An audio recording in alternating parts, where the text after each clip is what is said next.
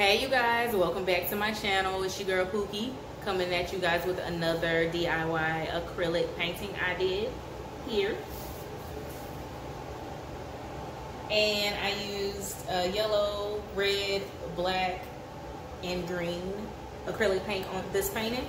And once it dried, I also used some uh, finish on it, uh, which it turned out good, but you can kind of see the brush strokes so I'm gonna have to work on that.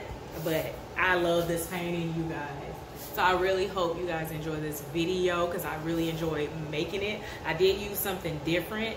I used um, a sink stopper, you know, with the holes in it. I think that's what it's called. But anyway, the way the painting, the paint flows through those holes is like beautiful. So anyways, uh, hope you guys enjoy this video.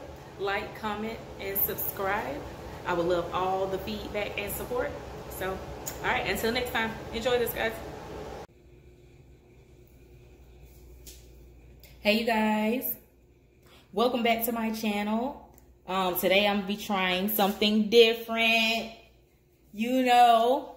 Okay, so I got this. I am going to pour paint in and see what magic it makes. Okay. So let me go grab my gloves. I forgot before I press play.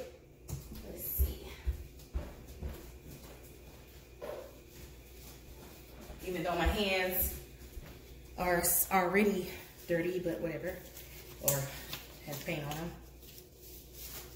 Okay, here goes nothing. Y'all don't know how this is gonna turn out. I really don't know. I don't know.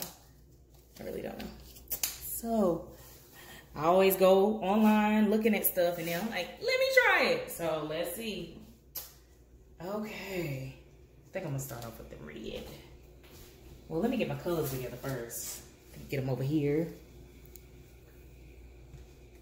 Doing a little, I'll call it a Rasta inspired painting. And this is my personal one, so yeah, I'm gonna have to clean it off. Whatever, don't worry about it. Um, and, it does have that on it, but I mean, we gonna make it work. Okay.